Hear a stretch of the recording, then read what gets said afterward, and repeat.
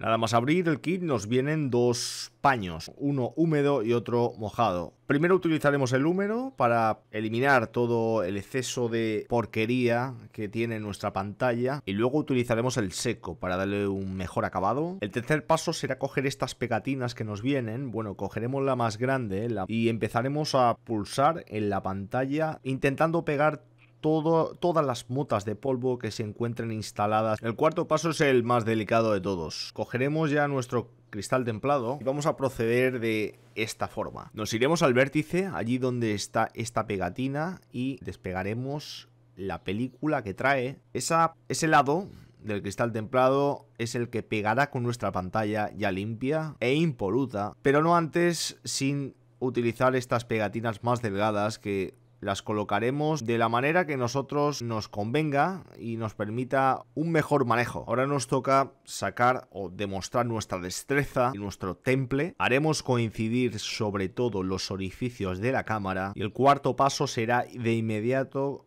pulsar el centro del teléfono móvil para que de manera totalmente autónoma y automática se vaya, se vaya pegando el cristal templado a nuestra pantalla. Hago un inciso, soy Ael Santos y este canal está dedicado a la aventura, el descubrimiento y la exploración.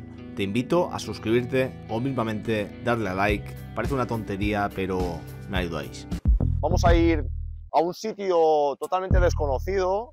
Se suele entrar por la ventana. Han dejado aquí como obsequio, como, como tributo al dios de la cueva. Vale, pues estamos muy súper cerca, súper cerca. Y aquí vemos las dos medusas. En el caso de que haya quedado alguna burbuja, con el paño seco lo utilizaremos y desplazaremos la burbuja hacia el exterior. Y en el caso de que haya quedado alguna partícula de polvo, despegaremos mínimamente el cristal templado y utilizaremos la pegatina. Deciros que este kit ha sido adquirido a través de Amazon, os voy a dejar el link en la descripción